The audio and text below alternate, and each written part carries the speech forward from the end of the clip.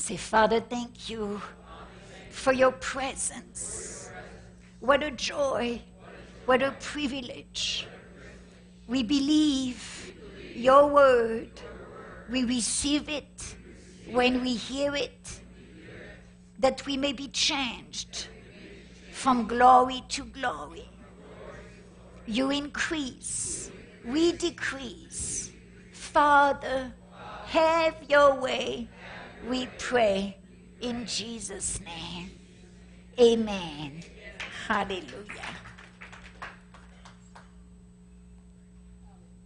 So, I walked on my patio. I have a little patio, not a backyard, but a little patio. And I walk on the patio, and I have a little table with those umbrella thing. You have to really picture it with my vocabulary. I'm sure it will be very clear. And if you can learn English really quick, you'll catch what I'm saying. But, oh, oh, you don't look happy. You're looking for grandma. Huh?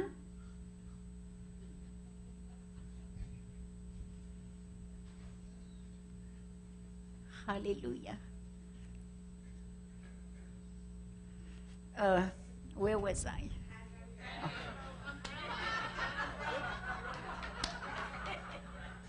I have a table with an umbrella. So I opened the umbrella so I can sit out there for the first time this year and read the Bible and study or whatever. So I open it and I see something inside the umbrella that was maybe like this. I had never seen it before with holes in it. So I do the regular thing to do is I, I take a picture, praise God for iPhone. I send it to my sister because she knows those things. And I say, what is that? And what should I do with it? So she answers and she says, oh, it's a beehive. And I said, a beehive? She's, so, so the instructions were to take a broom, open a door of safety, sweep the thing, and my instructions in my head at that moment was run. as fast as you can, run.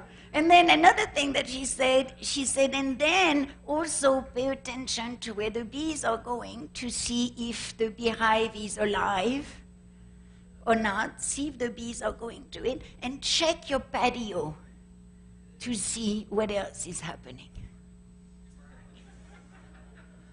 But by then, I was already totally taking away from sit down, relax, and read your Bible by then. So it took me a good 10 minutes, you know, to look for the bees and, you know, do all this stuff. And then I found the broom and then I opened the back door of the patio and I said, Lord, you've given me power to trample over scorpions and surely no evil shall come upon me and you are with me. And I thank you that there be no bees and I kicked the thing. I can't tell you if there was bees or not because I ran back in the house. Hallelujah. And then I started checking my patio. Where there's a little, a little ledge, you know, that you can put a hose on something. And I'm not an outside person. You have to know that about me. I'm, don't give me a plant. It will not survive. Somebody give me flowers, I have to pray, Holy Spirit, remind me to water them. It's not my gift. So I see something on the, on the ledge and I say, Lord, what is that? And he said, It's a nest. I said, A nest for who? he said, It's a bird's nest. I said, Oh, how wonderful. Should I feed them? What do I do? He said nothing. He said, That's good, you can leave it there. So then I continued to look, and you know, you have really a fence around your patio. And around the white fence where the dirt should be leveled because you have a fence, right?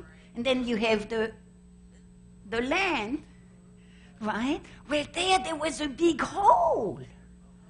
There was a big hole. I said, Lord, what is that? You should have been at my house on my patio yesterday afternoon. It was live. So, so, so the Lord saying there's some animals that dug the hole to be able to come. And I said, Thank you, Jesus. They're not here right now. So then I said, What do you want me to do? He says, I want you to close the hole. And then, so he had me, you know, take some dirt, fill it back up. I looked for a rock and, you know, to secure. And then I said, Wow, Lord, you know, I, I was going to seek your word to know what to, what to bring to the people tomorrow. What did you want me to study? And he said, I just gave you the lesson. I said, I said, what, what do you mean? He said, tell my people hmm, to watch for all the little foxes that are coming without them knowing to hinder their victory in me. Hallelujah. So I'm here to this morning with a spiritual shuffle Amen?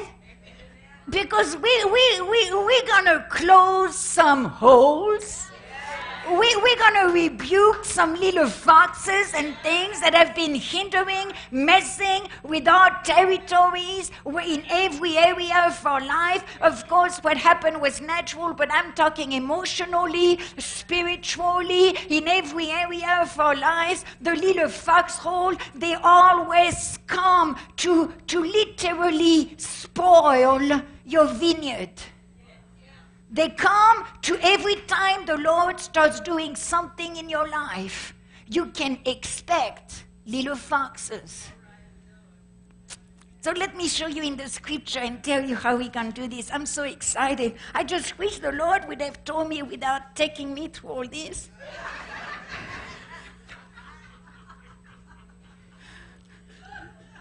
Lord, couldn't you send an email or text phone call would have been great.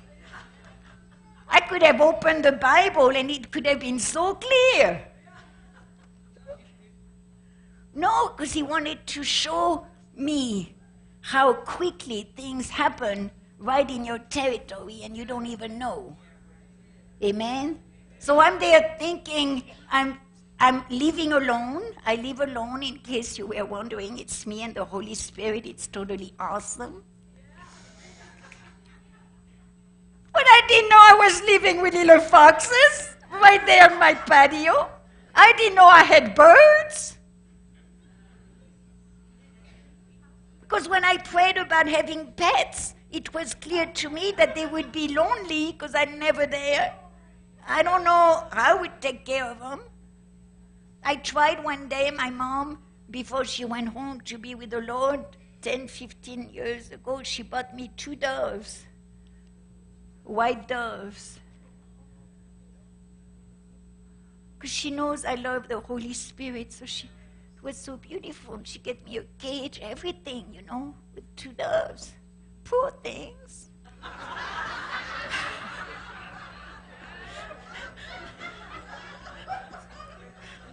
it's like, Lord, they're lonely. So after I think three days, I said, Lord, what do you want me to do? He said, take them back to the pet shop. because people will take care of them more there. So I've never even had birds in a cage, but now I have some on my patio. I'm so happy. I've been wondering, should I get a bird feeder? And then my sister said, no, because then you have to clean. I said, okay, no bird feeder. So What, what areas in our lives we have things that's happening that we do not know? How do we know where we're supposed to shut the door and find a big shovel and, and close some entryways that the little foxes do? The, the, the scripture is in the Song of Solomon, which I'm sure you read every day between commercial. It's a joke. but in the Song of Solomon, which actually it's totally awesome for couples to go through. In chapter 2 verse 15 it says catch us the, the foxes the little foxes that spoil the vines for our vines have tender grapes. And, and, and that word to catch means to seize to lay a hold of to take to be really forceful. Because the little foxes or things that are small. things that you don't see happen that creeps in in your life to mess up with you. In, in a relationship, uh, uh, the little foxes with your mates or your children, or things that they don't happen all at once, they happen over time. Disrespect is a little fox. Look straight ahead. We're dealing with little foxes today. little things, things that, that appear to be insignificant, but that are huge, that always come at the very place that God finally is blessing you in. So if you're single and you start having a relationship, my, my word to you today is take care of the little foxes before they mess up your relationship that God may have brought you. If you are married and you don't see some of the little things that come, so they creep in. Oh God. Disrespect, jealousy, pride, rebellion, a bunch of things are little foxes. And here it says that it comes to, to, to really hinder and quench the tender grapes. You know, when a child, when a, a, a person is born again, a new believer, they're very tender. We have to be very careful of the little foxes that come to hinder the new believers the little foxes that will come when someone finally tries to make a decision for the Lord or even come to church will, will be the, the spirit of offense. Somebody saying the wrong thing, doing the wrong thing, so that they finally come to church and they will not come again. People that have been born again for a long time, the little foxes will be the same. It will be unbelief it will be a spirit that comes to divide, but it will be the whole thing is it's not something big. It's not, it's not a diver temptation that you can put your finger on it and say, oh, that's what's happening. It comes and it appears to be small, or it comes in a way that you don't know it came. Because once you under it, it comes to, to spoil and take away your peace, your joy, and your place in the Lord. God told us in Genesis that He was giving us, He gave Adam dominion, remember, over every living thing. And, and in that garden, Adam messed up, remember he, he, he, lost his place of authority, dominion. But in another garden, if the in the garden of Gethsemane, Jesus, when Adam fell, Jesus in the garden of Gethsemane, he stood victoriously. When you think about your territory, your vineyard, your children, your, your home, your body, everything that pertains to you. You have to look at it like it's your garden.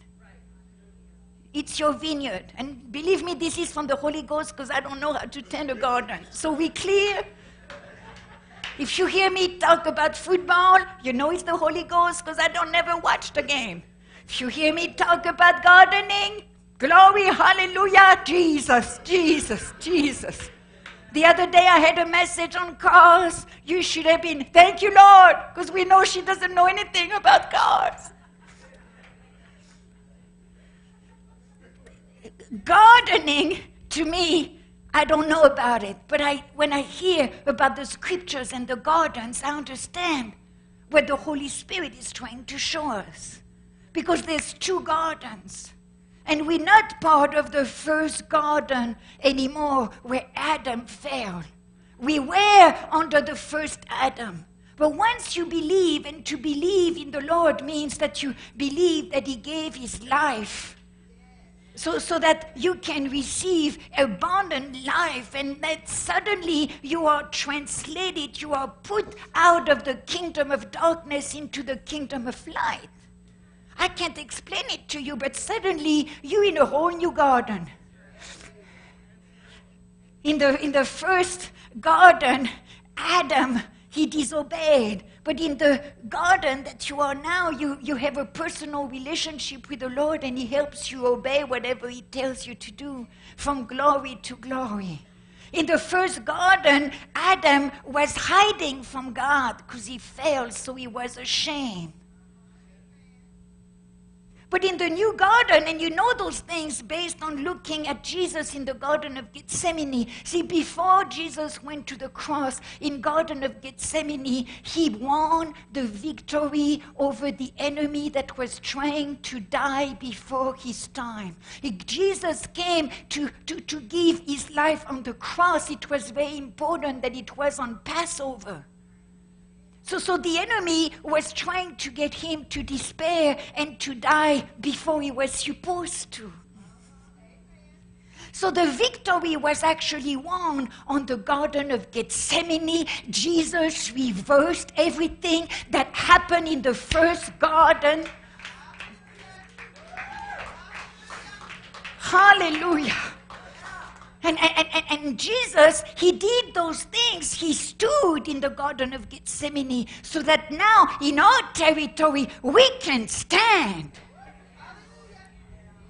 and walk in authority over every intrusion, over everything that comes. You have authority in your house, you have authority in your body. And you, you will find that you battled every step of the way because the enemy doesn't want you to walk in any kind of victory whatsoever. Whatsoever. So, so, so the moment that you realize how much Jesus is the king and he keeps you in the garden and you are safe and secure, the enemy will try to bring little foxes to make you question your security. He will bring little little nonsense. I call it nonsense. Sometimes I hear people that are battling with stuff that are nonsense. And I hear people battling enough with things that are important. We don't need all the little stuff on top of it. We don't need all the little fires. We don't need that. You have to be careful to never forget that you do not war against flesh and blood. You have to be so careful not to receive uh, something that might appear to be from God, but it's not God. And it comes to just steal your joy, steal your peace. There is nothing greater than once you're born again to realize that you've been translated from the kingdom of darkness, that now you're in a garden, a garden where there's abundant life, where Jesus is with you. He's the Lord of your house. He's the Lord. He's not just a Savior, you understand. He's the Lord of your life. He's the Lord of your life. He is on the throne of your life. Everything that belongs to you in your house, you invite Him in because it's His. Give you a brand new vineyard that suddenly there's some things that you bear fruit in that in your life you would never bear fruit. You, you, you have joy and peace, and, and, and you have a, a, a, a fire that you didn't have before. It's your garden. You're finally happy. In a natural garden, you have to pull weeds. You have to care for it. You have to water it. You, you have to pay attention that the animals don't come creeping in and, and just, just ripping, ripping away your whole harvest.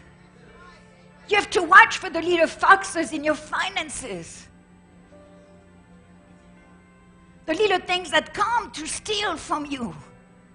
Next thing you know, you look at the, your money and you feel you have holes in your pocket. Well, who's coming to steal, kill, and destroy? Satan is. Jesus, he stood on that garden and he wants us to stand in ours.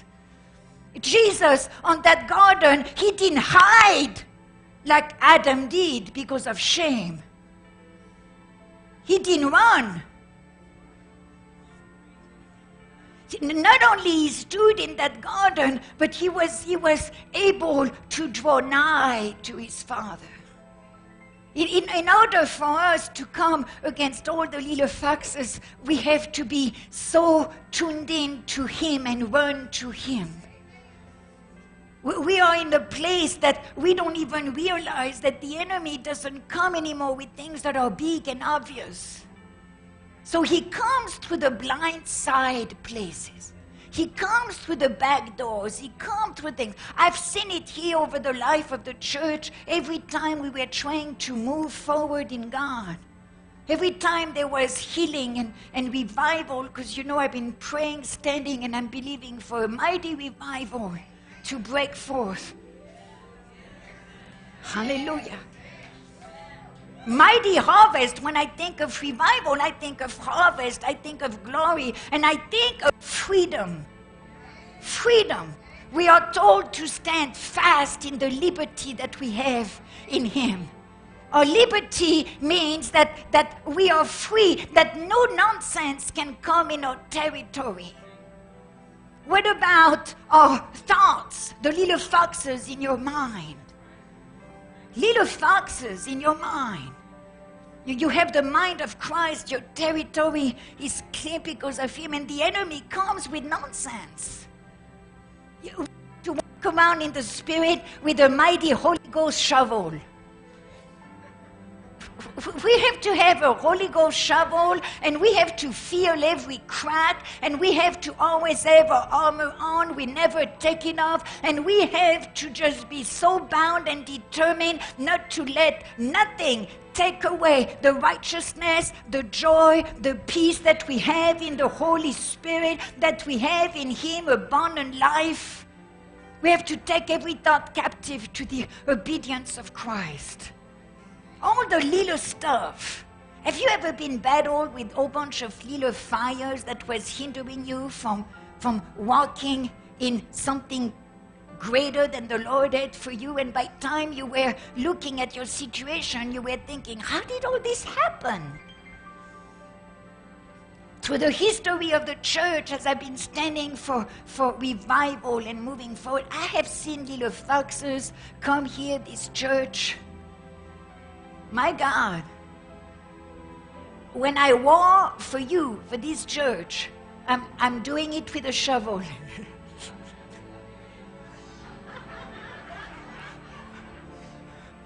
and then every time I see some breakthrough, and the Holy Ghost then is free to move, and the more he moves, the more the foxes come. So I never can put the shovel down because it comes from all sides. And He does that in your life. And He does it because you're starting to walk in the freedom that you have in Christ. The Holy Spirit is removing every little foxes that's messing with you. He's helping you take care of your garden. You've been growing with leaps and bounds. He cannot battle you with what He used to battle you with. You are sharper to see what He's doing. So He comes in ways that you do not see Him coming. So watch for the holes.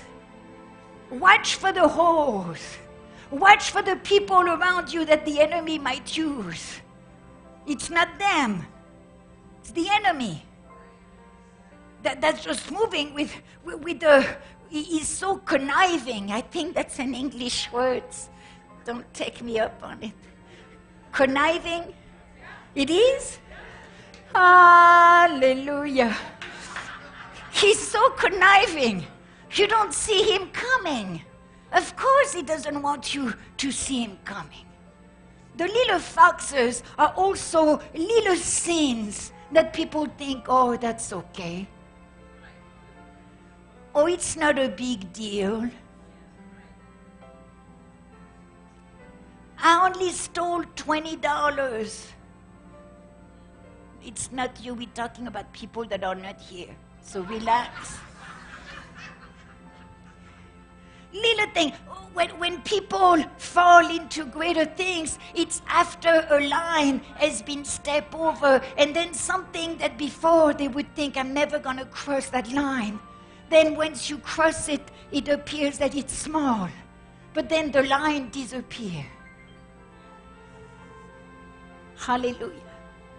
Little foxes, when it comes through spirits that hinder you, or the, the, the spirit of unbelief that comes through the back door because in the front door you're trying to get another job, to believe God for relationship, whatever it is, you're standing for your healing for years to come. But the, the, the little foxes come to tell you, you know, you've been waiting long enough, you, nothing's to happen, you're not to get healed, this relationship's not to work, it's to be like the last one. You're not gonna get this job. You're not gonna, you're not gonna, you're not gonna, you're not gonna. The enemy is like a broken record. It's like he's stuck, and I know some of you don't know where the little record is. Memories. It's, it's, it's an antique thing that in our young days we used to have something that was round and flat. And you had this machine, and you put the little round thing in. You either, you either had a 45 one or a big one. And you put it in this machine, and they had like a little needle that you put on it. You see why I wanted you to be here, young people. And you put it on it and it plays music. These round things are called records. They write in the antique store near the telephone. we don't see those anymore.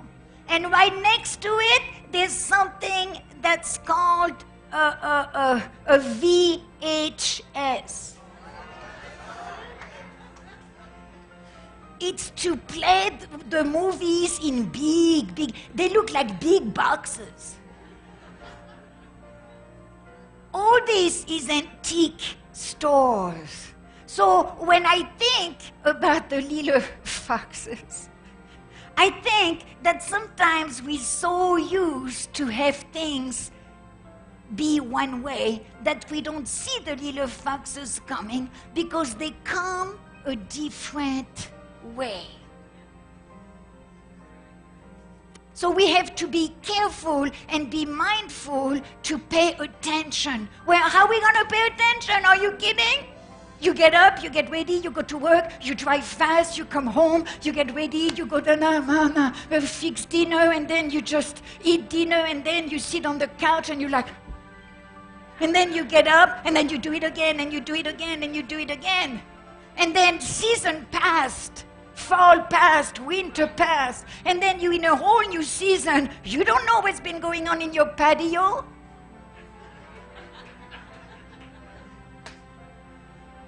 You don't know? I mean, it's easy, you know, to say, hey, watch out for the little foxes, but most of you are thinking, when?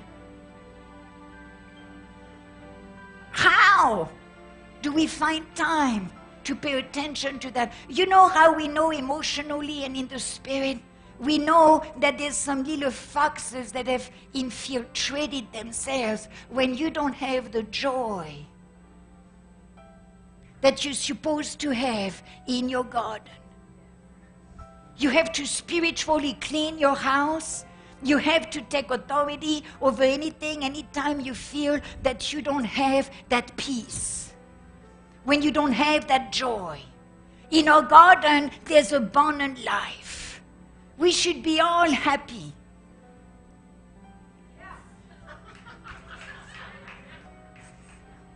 We should be dancing the hoopla We have been born again. We have eternal life. Jesus is with us. And praise God that when there's little foxes, He gives us the power to have a spiritual shovel and to feel every crack and to kick them out. The glory of the gospel is that whatever happens, the Lord is there to help us take care of those things. Isn't that a beautiful gospel?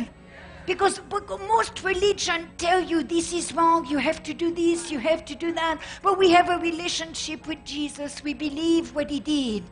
Then when he shows us things, it's not for us to, you know, we're not supposed to freak out. You know, don't go home like,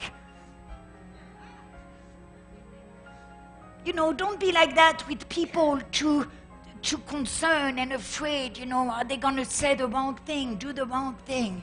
No, greater is who is in you. Walk in authority, walk in strength, every place that you are. Remember that you take your garden with you. Because on another garden, Jesus, He rose. He rose from the dead and He's alive today. It's difficult to set boundaries when you have a, a, a, natural garden, not only you pull out the weeds, the weeds, but you also build fences around. You have fences around your house so nobody can see you when you're in your backyard. I hope. And, and, and those fences, the enemy comes against. Why? Because Jesus is the door. He's the way, He's the truth, He's the life. So he wants us to feel so secured where we are in him and never question that he's keeping his garden, the body of Christ. He knows how to do that. But because he, he does that, he leads you to take care of some stuff. He leads you to take care of some stuff.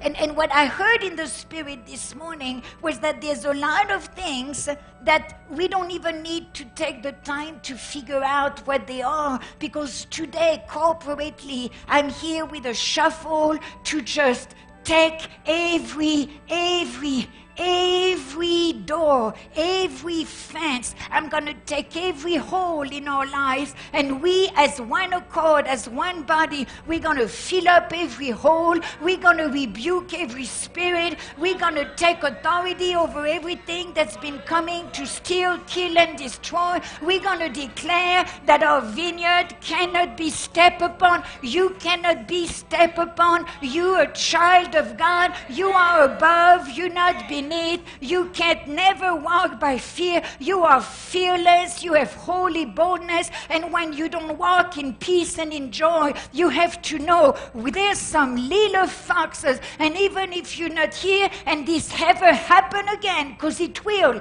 every time you go from glory to glory, you will have to deal with some foxes.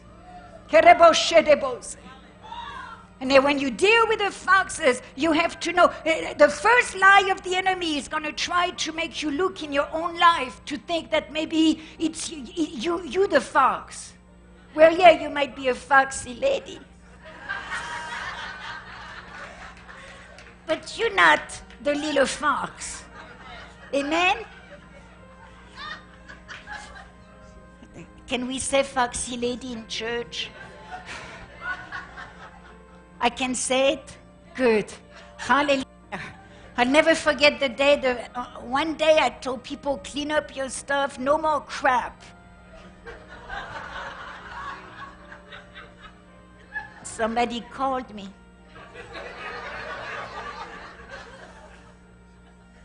He said, Pastor, you said something you should never say.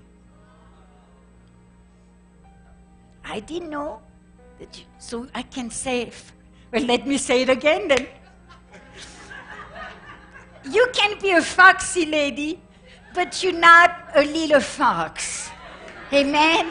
So when you know that you have abundant life in Christ, the first thing that we should do is walk in the Spirit and handle those things that are coming against instead of us crucifying us.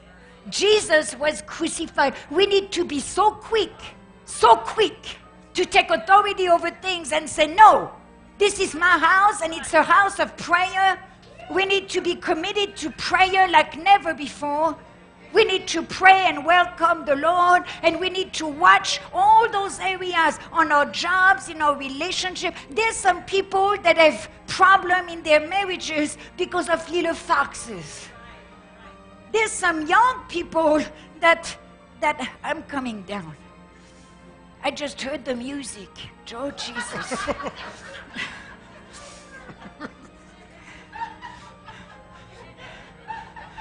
oh Lord.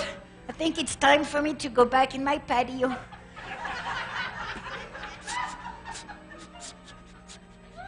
what, what, was I ta- what was I saying?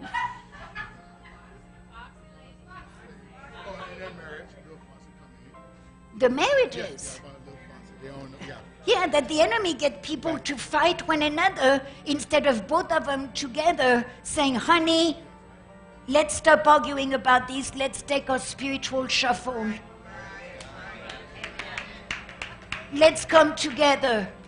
And, and, and you know what I want to tell you prophetically is that there's some situations that the enemy came in and you have a big hole and something has happened that the enemy has brought division that you have been stolen from that you have gone through heartache and pain. So today, what we're doing prophetically is going to reverse that. You have to believe that whatever the enemy has come to steal in your life, every every relationship that he has come. I remember when he he brought some nonsense between me and somebody, and I said, Lord, what you want me to do? You can tell I ask him that a lot daily basis, sometimes moment by moment. Lord, what you want me to do? Lord, what you want me to do? Lord, what you want me to do? And sometimes he doesn't answer me. But that's another conversation. and I, and, and I, I, I go with what I know of him. And he said, Love and pray and believe that I can reverse every situation just like that. And today the Lord's going to reverse some situations and close some holes in your pockets, holes in your heart, holes in our mind, holes in everything. And He's going to reverse it. And we're going to, we're going to leave this place filled with the abundance of the presence of the Lord. And we're going to walk free from the little foxes. Hallelujah. So stand to your feet in the spirit, grab a hold of your spiritual shuffle. I don't know how to do a shuffle. Now, don't hit nobody next to you. Be nice and gentle.